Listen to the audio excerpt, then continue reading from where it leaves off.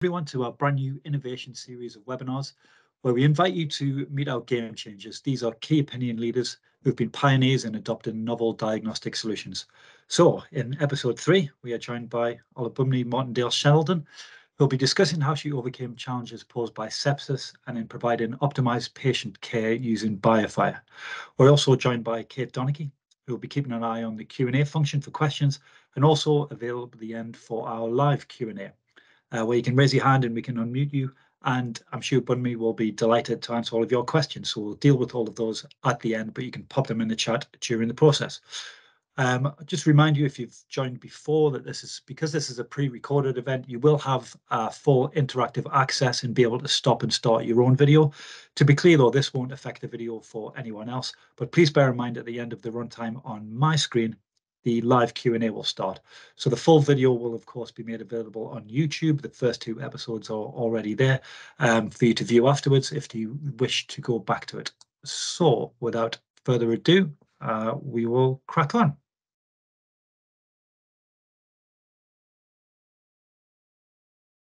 Tell me a little bit about yourself. Thank you, Kate. Uh, my background is in biomedical science. Um, I've been worked initially as a technical staff in the lab and later as laboratory manager. I've also worked um, in point of care testing, initially as point of care site lead and later as point of care testing manager for the network. Currently, I work as Directorate Manager at the Royal Berkshire NHS Foundation Trust with operational responsibility for a number of services such as pathology, pharmacy, bereavement, and medical examiner services. In addition to that, I work one day a week on a secondment role as the operations lead for Building Berkshire Together, which is part of the National New Hospital Program. So tell me a little bit about the site. Royal Berkshire NHS Foundation Trust is one of the largest district general hospital in the country. Our emergency department sees over 120,000 patients um, per year, and 25% of those are pediatrics. If we suspect sepsis, we take two sets of blood culture as part of their sepsis care bundle. This is a quality priority for our trust. Okay, so uh, talk to me a, a little bit about before the change and what the situation was like. Well, we were having issues with getting timely result back for patients um, suspected of sepsis, sometimes taking days um, before we could get the result back from the laboratory. The consequence of that, therefore, is that our patients are not on targeted antibiotics on time, which therefore impacts their care and outcome from what you've said, it sounds like there was a combination there of that quality aspect, but also that personal aspect. So, and that patient care aspect. So, I'm just wondering was that coming from the lab? Was that coming from the clinicians? Was it coming from quality? Or was there a real unified approach that there was a recognition across um, different departments about the need to improve? At the time, no, there wasn't a unified um, commitment or approach um, across all departments. Within the trust itself, the clinical team, ourselves working with the clinical team, we're aware that you know something needs to be done to improve um, our patients' care. But we needed to get pathology on board um, with that because, as far as pathology is concerned, they are providing a reasonable, good enough service. Um, so we needed to get them on board. Okay, so um, take me back to the situation before you implemented a change. Thank you, Kate. So we were having issues with getting results back from the central lab on time for our patients. So it meant that patients were not on the right antibiotics on time. So, for instance, we had some patients that had bacteremia, but they were either on, you know, the wrong antibiotics that would cover the bug effectively, or sometimes they were not even on any antibiotics at all. So we knew that we needed to do something, and so that was the driver really for us um, to look at how we can improve the situation so that our patient can be on effective antibiotics as soon as possible. Tell me a little bit about some of the challenges that you faced in bringing in such a such a big change. So the key challenge for us was that we were not meeting the UK HSA standards for all of our patients. The UK HSA recommends a turnaround time of less than or equal to 24 hours for pathogen identification with antimicrobial sensitivity when using automated or direct method. They also recommended a turnaround time of less than or equal to 48 hours when using the conventional laboratory method. But we're not meeting this for all of our patients. For some, yes, but not for all of our patients. The consequences of that, of course, is that there will be delay in initiating targeted treatment for our for all of our patients. So for our trust, there are several factors contributing to um, the delays with receiving the pathogen ID result back. I would focus on three of those. The first is our microbiology laboratory is offsite because we are part of a pathology um, network. So our pathology network operates a hub and spoke model, and we're one of the spoke sites. So our central laboratory for microbiology has been moved offsite. The second factor is transport itself. The specimen transport itself is limited. So there are set times within the day that they will come to pick up samples. So that means any samples that we receive outside of those times would not be transported to the laboratory on time, so they will have to wait till the following day, really. The third factor I want to talk about is the fact that our laboratory opening times is limited. So our microbiology lab is only opened 7 a.m. to 8 p.m. Monday through Friday, and Saturday and Sunday they are open 7 a.m. till 5 p.m. So they do not operate a 24/7 service. Again, that's a limitation in itself because then if you have patient presenting to the hospital with suspected sepsis, they will not be, you know, um, taken to the main lab. So what are the consequences of these delays on our patients? The first is patients are kept on empirical antibiotics for much longer than necessary. Of course, that means patients can be on inappropriate antibiotics, or we are generally as a trust, we are using antibiotics ineffectively, which does not help the antimicrobial stewardship agenda. And most importantly, is not good for the patient in terms of patient outcome. Some patients, based on their symptoms, may have to be isolated to prevent spread. Our side room capacity is about 140 beds, and 50% of those are within maternity. So we can't really use those to isolate um, sepsis patients. Another challenge, of course, with delayed treatment is the patient condition may worsen because we are not treating them, we are treating them blindly. So, and if the patient's um, condition, you know, gets worse, there is that potential that they will be escalated into level two or level three care. Such delays ultimately result in increased length of stay for our patients and ineffective use of the hospital resources as it impacts patient flow. All of this contribute to poor patient experience and outcome. It is important to mention that the risk of death increases 1.2 fold per day for every delay in microbiological diagnosis. So what from what you've just said, it Mm. seems that you really recognize that that time as being that factor, that really important factor that could impact things like the length of stay and the um, antimicrobial stewardship. So was that really about meeting that time challenge and getting that result as fast as possible? Indeed, because we realize once we know what the causative pathogen is, everything else will follow quite quickly. Tell me a little bit about the changes that happened. What changed? What did you bring in? Hmm. Knowing that time is of the essence, we put forward a business case proposal to pilot a 24 7 sepsis service on site using BioFire technology and BCID2 reagent panel. The BioFire BCID2 panel enables the identification of pathogen within 65 minutes. So that will be a game changer for us, really. The proposal also includes for the service to be hosted and run by Blood Sciences um, Rapid Response Laboratory team that we have on site. So I presented the business case, and although we initially asked for a three month pilot, our trust executive felt we needed a six month pilot to allow for more data to be collected. And so they approved the business case for six months, um, which we're really happy about. Prior to starting the pilot, we agreed with our trust executives what the measures of success were going to be. And those measures formed part of our pilot aims. So there were three key metrics that we needed to meet in order for us, um, in order for the pilot to be successful, basically. The first was the pilot needs to show a reduction in time to get um, the pathogen identification, so basically improved process. The second was there need to be a reduction in the time to effective therapy, so resulting in improved patient outcome. And then thirdly, there needs to be a reduction in contamination rates.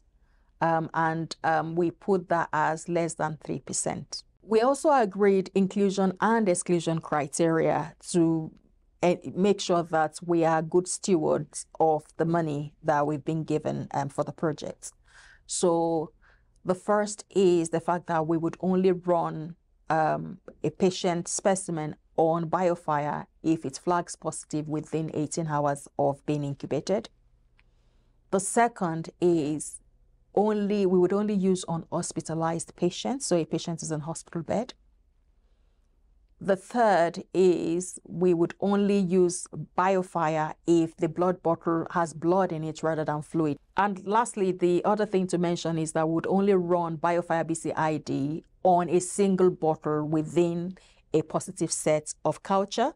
So rather than running on all four positive bottles, would only run on one. Mm-hmm. Because I think it's a valid point that mm-hmm. obviously some of the barriers of this is around funding by optimizing the usage of the technology, are you getting more value from its implementation? Indeed, yeah, definitely. Those criteria that we've put in place enables us to make sure that we are only using, you know, the reagents, the very expensive reagents, on samples that really need it. Mm-hmm. Yeah, and I suppose you're you're using it the way it's supposed to be. You know, you're using it in the best way possible. Yes, for, yes, for yeah, have. indeed, indeed. Yeah. Tell me a little bit about the stakeholders involved. But there's a few different numbers. You know, how did you get them on board? Thank you. So, although I was the project lead, I would not have been able to achieve anything without the amazing support of the stakeholders. So, what I did earlier on was identified who the key players were, and um, I got their buy-in, and I put together um, an implementation group. So, basically, responsible for the whole project from its inception through to its delivery and implementation. So um, that was really, really helpful. How did you pick those stakeholders? I think it's because we it's about you know just taking a step back, looking at the project and knowing you know which department it's going to impact, um, and then getting the leads in those departments involved um, within the project. Mm-hmm. You know, in the project. Yeah that, that, that was what made the difference. Mm. So, for instance, we knew we would need the antimicrobial stewardship lead. Dr. Walden, he was very helpful on board. Our clinical lead for microbiology, Dr. Aya, the trust sepsis lead, the sepsis lead nurse, money that uh, we, we knew we needed to get our finance director involved. You know, then we we knew that we needed to get um, microbiology involved, although they are not on site. We know that later, when you know they, they would really be instrumental in helping us, you know, put everything together because they have the expertise. Our blood sciences team are the ones that will be processing it on site, but they don't have microbiology knowledge. So there, there needs to be a link between the blood sciences and the microbiology team as well. And then, as I said earlier, we are part of a network. So in terms of projects within the network itself, within pathology network itself, we needed somebody within that team to work within pathology um, to support the project as well. I think it's such a hard thing to get right sometimes is to get all the, the, the right people in mm. the room together. Mm. So I think mm. you need a pat on the back for that. Having you. it from the start. Yeah. yeah. So when the pilots concluded, I wrote a report and circulated it to the group first. So the group reviewed everything, put their comments in, approved it before I took it any further, you know, outside of the group. So again, I think that was really, really good because then you know, it shows the hard work that we've all done together um, as, as a team, really. I am very grateful for the input and the support um, of the stakeholders um, because we wouldn't have been able to achieve that um, you know, the success with without them really. Also, we had the support of the trust executives and the divisional executives, and that really helped. Um, I wonder about the clinical stakeholders. Were they familiar with BioFire, or um, because this is something I've just experienced in my own past life. Mm. The the change um, and the availability of the result, and if it's new technology, it's around um, almost like the the trust or empowering the clinicians to actually act on the result. So was that really important to have a, the clinician in, in your working group um, really on board with the result and then being able to to get the clinicians to act on it? Absolutely. Yeah. Yeah. Yeah. That, I think that was the driver really because they see their patients, that their patients are now are spending unnecessary time in the hospital.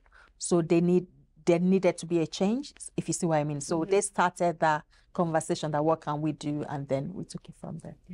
About the barriers, Mm. was there many? How did you overcome them?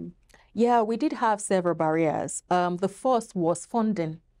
Um, as you probably know, the BCID2 panel is much more expensive than the laboratory test. So, as such, we needed to justify the clinical need for it. So, we looked at the overall pathway of the patient, including, you know, appropriate use of antibiotics, you know, um, better use of the side room, and better outcomes for the patient, finding out the source of the infection on time and treating it so that the patient would not stay too long in the hospital. So those are the key benefits, I think, and it all centers around the patient really rather than the cost, the initial cost of the test. Although there have not been um, clinical trials to justify the cost, we do know within our system and from audits that if we have meaningful time frame for pathogen ID, you know, our patients with suspected bacteremia will be treated much more effectively um, with better outcome for them. The second barrier was difficulty in getting pathology to support the initiative. We were the first trust within the network to ask for such a test. No other partner trust have requested for that. Secondly, the initiative would involve a change in the way pathology services worked. So, for instance, we do not have an on site microbiology, so the service will need to be run by blood sciences with no microbiology um, expertise. So, it is different to what pathology is used to. We did have extensive conversation with pathology, basically highlighting what our issues are in terms of the fact that we needed, um, you know, meaningful time frame for our turnaround time for the uh, pathogen ID and we encourage them to provide us with a solution. Where like we are not too you know if if you have something within pathology that would enable us to have access to our results on time you know to help with our patients then we're quite open. So we encourage them to put forward a solution you know um, within the central lab that would enable us to meet those challenges. So they came up with a solution to provide 24/7 service within the central lab and increase the number of transport pickups throughout the day. So those, you know, and have staff working in the lab 24 7, those um, measures would definitely mitigate the issues. The cost of that doubled the um, BioFire solution. So we included their solution within the business case that I presented as well as the BioFire solution. And the BioFire solution was approved because it was half the cost of the pathology solution. So the third barrier was IT connectivity. As you know, um, it would be good to just have automatic transfer of results from the analyzer through to our laboratory information system and then onto the patient's electronic patient records. So we thought, let's get the IT sorted before we actually start the actual testing or uh, as part of the pilot. But when we realized the IT was not coming on as it should be for so many reasons, we decided to go ahead with the pilots. We carried out a risk assessment, put some measures in place with some minimal manual intervention, basically printing out the results and scanning it and putting it on the electronic patient record. So, um, so that was a, a huge barrier in terms of it delayed the start of the pilot. But then we had to take the decision that we don't want it to keep delaying. Let's go ahead with the with the pilot, and then later, then we can switch to automatic um, data transfer. The fourth barrier I want to mention is staffing. We had staffing issues, and that's because it was a pilot, so it was a six month pilot. And so it was a temporary employment. So staff that we got, when they see a permanent job, they would obviously go for the permanent job. So we had a high staff turnover. So those were the barriers, um, the key barriers that we faced um, during the project.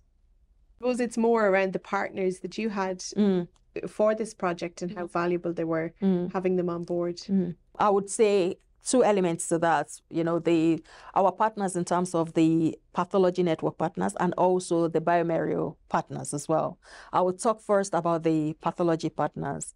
So once there was support for the project, um, we needed expertise from centralized ra- laboratory to support the non-microbiology staff on site, i.e. the blood sciences staff. So for things like verification, uh, you know, the SOPs, the training, and the, the quality assurance aspect of things. Also, we had to liaise with estate, our estate here, with regards the safety cabinet, and also IT considerations. Also, liaison between the execs, executives, you know the pathology network execs and our divisional execs, just to try and overcome some hurdles that we were going through, and to move forward with the project. After all, this was a service they were not used to providing, and it's been provided by non-microbiology staff. So we needed to make sure they have the support. And our pathology partner really supported us with that. Once they got on board, they were really supportive throughout the project. So then I'll talk about the second um, aspect of things in terms of the partnership we, we have with um. Of course, the BioFire um, is the device that is provided by bioMérieux. So whenever we needed, you know, support, Tom and the team, they were always there. They attended several meetings with us in terms of the IT, in terms of the verification, in terms of the training, and you know all the necessary elements um, to make sure that we're able to implement um, the device safely um, for our patients. And they shared with us um, what some other sites are doing as well, which was really really helpful. That's good. So, do you think that that was helpful in terms of bringing, say, bioMérieux's microbiology to, you know, and the the um knowledge that we would have from microbiology to to help you get this microbiology test into Spoke? Indeed, Nice. very, very helpful and valuable. Having a company with that microbiology expertise really helped us as well. And then we tap into, of course, our own, I mean, off-site microbiology expertise as well. Yeah. Tell me about the impact of bringing in bringing in BioFire.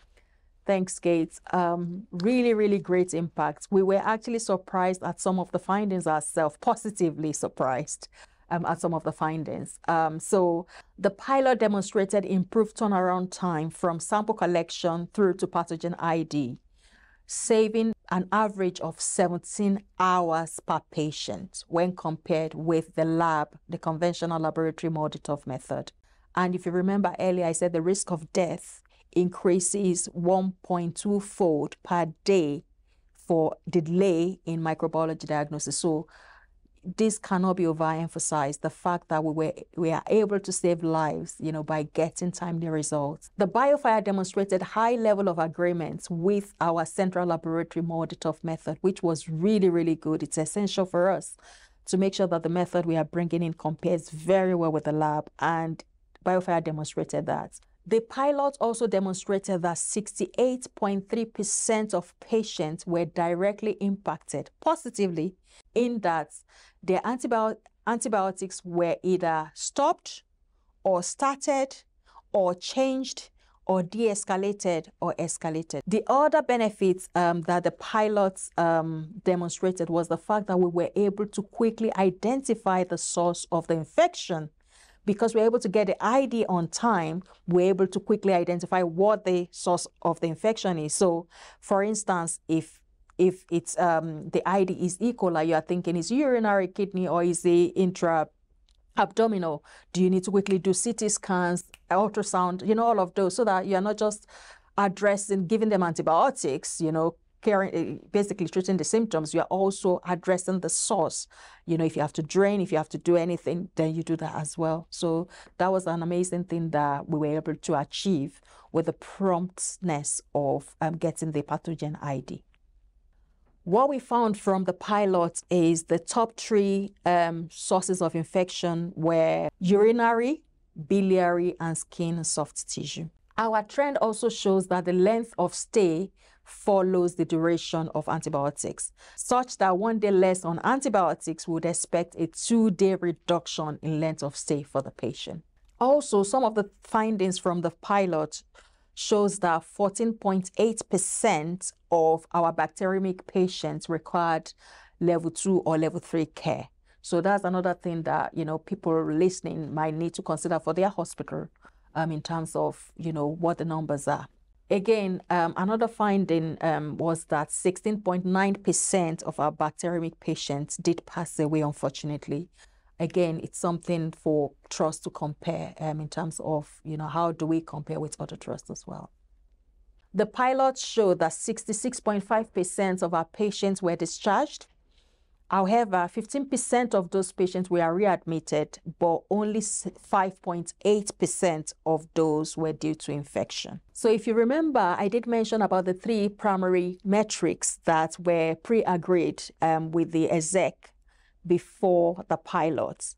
So the first one is reduction in time to get um, results for the pathogen ID. Yes, we did meet that because the pilots showed that we saved an average of 17 hours per patient compared to the laboratory, the conventional laboratory method. In terms of reduction in time to effective antimicrobial treatment, did we achieve that? The answer is yes. We were able to start patients on targeted treatment within 13 hours, and that improved significantly, improving to about three hours once the process became embedded within blood sciences. Yeah. So really what we found, I think, for us um, as a whole, in terms of the pilots, it's demonstrated that early pathogen ID facilitates early MDT conversation between the clinicians, between the surgeons, between our microbiology um, experts, between you know the infection prevention control team, between the antimicrobial stewardship team. So it's really, really helped. What are the plans for the future? So you've taken a big leap, you've made big changes. What's next? Thanks, Kate. So, um, what's next?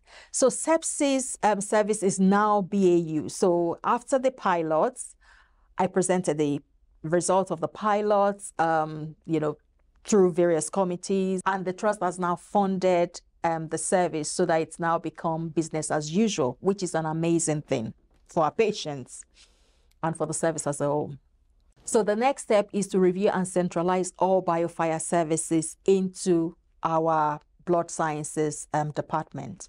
So at the moment, um, as I mentioned earlier, we have the blood sciences team, you know, looking after the biofire, uh, the BCID 2 panel there are some other work that is going on um, in parallel um, because we realize the potential of the biofire. So for instance, for the hot joints pathway, we're currently trialing the biofire in that area for our plant care. Also, there is the meningitis panel um, and also pneumonia panel that is in our ICU and AMU. So again, once all the work has been done, we'll bring them all into blood sciences so that the all the tests are done by blood sciences technical staff. The other thing as well that we want to work on is actually better governance and oversight of this. So, but we believe once it's all in one place, you know, um, being looked after by blood sciences would have much more better governance, you know, and we can look at getting UKAS um, accreditation as well going forward for it. So it sounds like all of the work that you're that you're doing in, is to expand what you're bringing closer to the patient. Indeed, really, indeed. And work on that time. Yeah, basically looking at the biofire and seeing other possibilities, you know, so basically meningitis, pneumonia, hot joints, and anything else that, you know, we, we can use to improve the outcome for our patients. Yeah. Fantastic. And you've also said that you're working on the, from the sepsis perspective, it is that look at that pre analytics. Um, and do you think that once you have once you have that, you know, or um, progress is made there with your contamination, do you think that that will be your sepsis pathway optimized, or will you have is there something else on the hit list? Great question. I think definitely that would optimize our sepsis pathway because I think we've got every, and of course, getting the IT. So I think sorting out the pre analytical in terms of minimizing wastage so that once we collect the blood, there is few or no contamination. And then the other aspect of it is IT. So sort out the IT for the BCID2 panel and then sort out IT for all of the other panels we're bringing into the lab. So the meningitis, the pneumonia, the odd joints as well. Any advice? So if mm. anyone was thinking of looking to BCID2, you know, what would be the advice that you'd give or what would be the mistakes that you you'd say to avoid? Yeah, good question. In terms of, of advice, I think the starting point is you need to understand the importance of getting your pathogen ID in a meaningful time frame. If you understand that, then you can have that conversation with your central laboratory. If you're getting the result on time, fine. But if not, then question the process and ask for better. I think that is you know, the starting point. The second thing is, I would say, if there are issues, engage your trust executives and highlight those issues. That really helped us because the, you know, it was being driven by the clinicians and the consultant because they want to have better care for their patients. So that really made my job a lot easier you know, and then we had to then work with pathology to get them on board as well. The other thing I would say is engage your central laboratory and get their buy-in, but using data and objective evidence. So I think it's the approach again. You know, we need to approach them respectfully, get their engagement, let them know what our issues are, and see how they can resolve that issue. If they can improve the pathology service such that it would meet the needs, fine. But if not, there are technologies out there because we're one of the early adopters of this technology and we're proud of that you know to see how we can improve our patient care because it's all about the patients at the end of the day. So that, that that's another advice i would give. Lastly i would like to say do not underestimate the impact this sort of project would have on your patient because through the pilot, we're actually finding out some things that we were not aware of in terms of the potential benefits for, for our patients, which I've highlighted um, through this um, talk. When you say not to underestimate the impact, that's spurring you on to see that you've done this, you have the improvement, you've seen the impact. Indeed, indeed. And not just spurring me on, it's spurring almost everybody within the trust on. I mean, people die directly involved, like ICU. Everybody's contacting me that they also want BioFire, you know, for their hot joint pathway, for instance, um, for meningitis, for pneumonia. So it's, you know, because we brought everybody along, so we um, presented the findings. So they're like, what else can we do to help improve our patient experience, our patient outcomes, even our patient flow? I suppose that speaks to your your advice around collaboration and getting everyone together and making yeah. sure you use their time effectively. So bring everyone along for the journey. Indeed, indeed, indeed.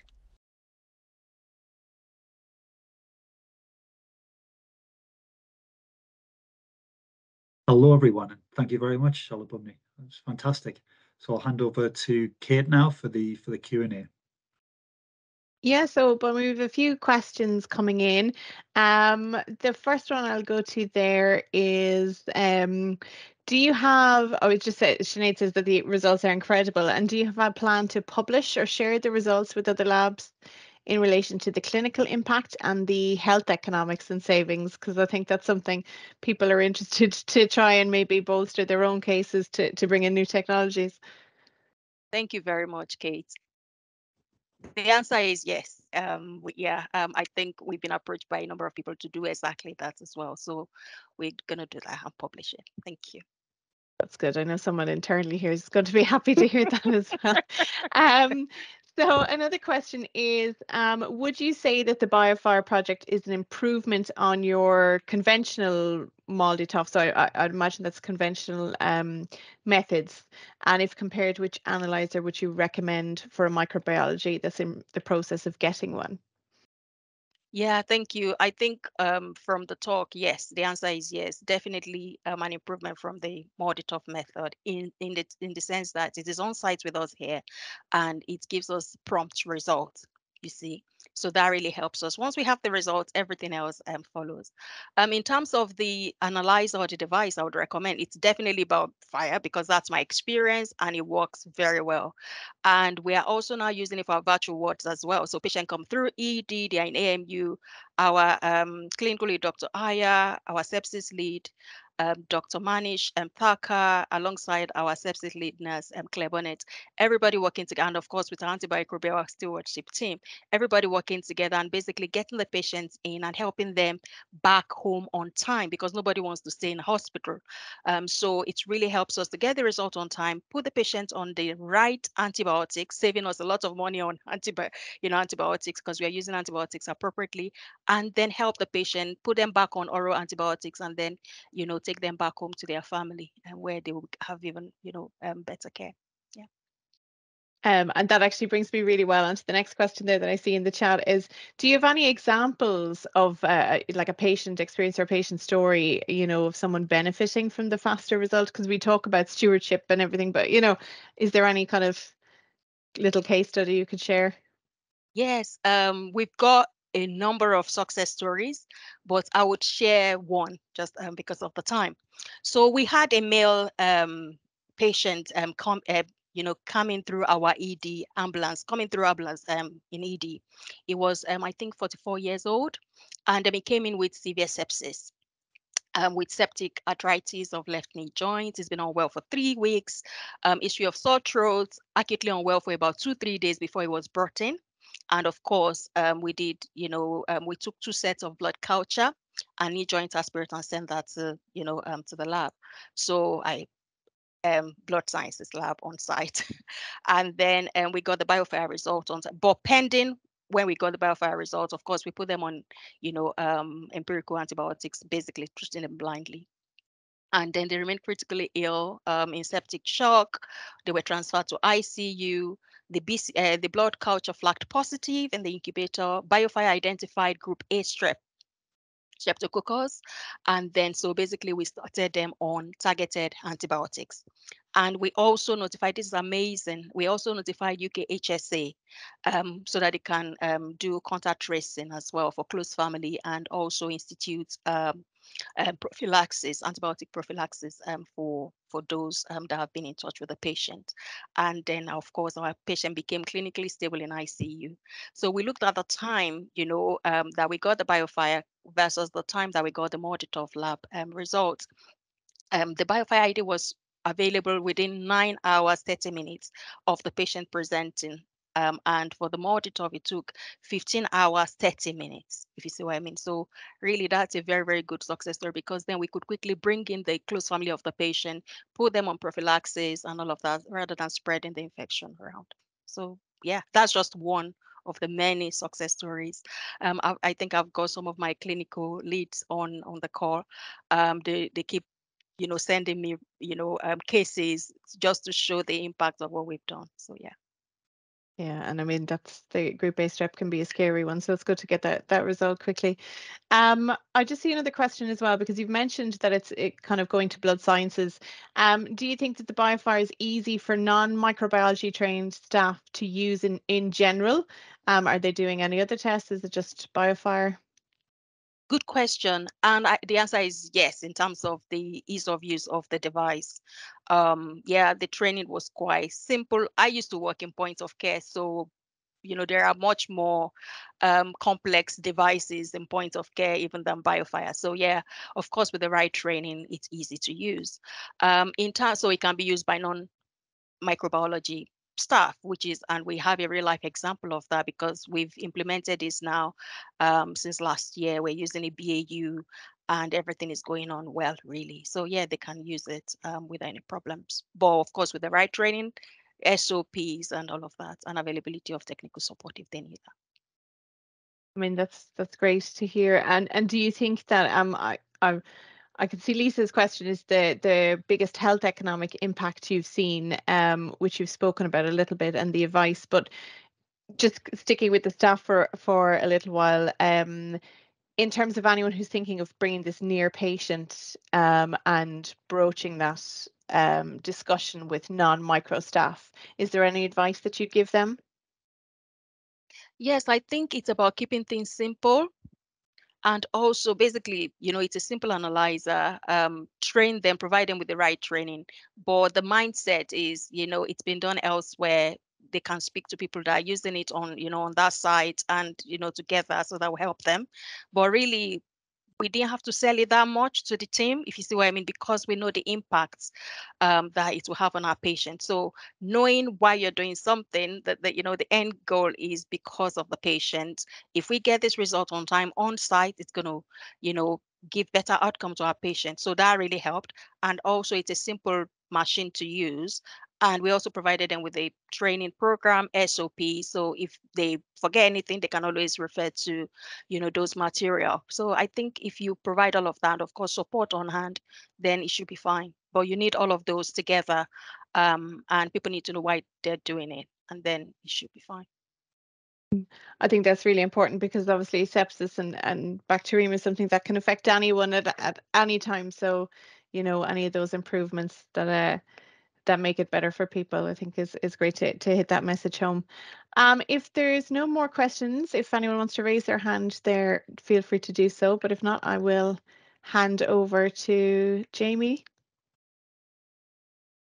Take myself off mute there. So just remains to be said, uh, thank you once again all for, for joining us. Um, it's been a pleasure to have you and thank you once again to Bunmi for that was that was fantastic. It's a real privilege to, to be able to help you tell your story and get it out there. Um, I should just also say, finally, um, if you haven't done so already, um, you can register for Catherine Moore's uh, webinar next week. That's our final episode, episode four, and that'll be on FireWorks, uh, the software which we have for providing dashboards for uh, surveillance of our um, syndromic um, uh, instruments. And if you uh, use that QR code there, you'll be able to get through to the registration page. So thank you once again and enjoy the rest of the afternoon.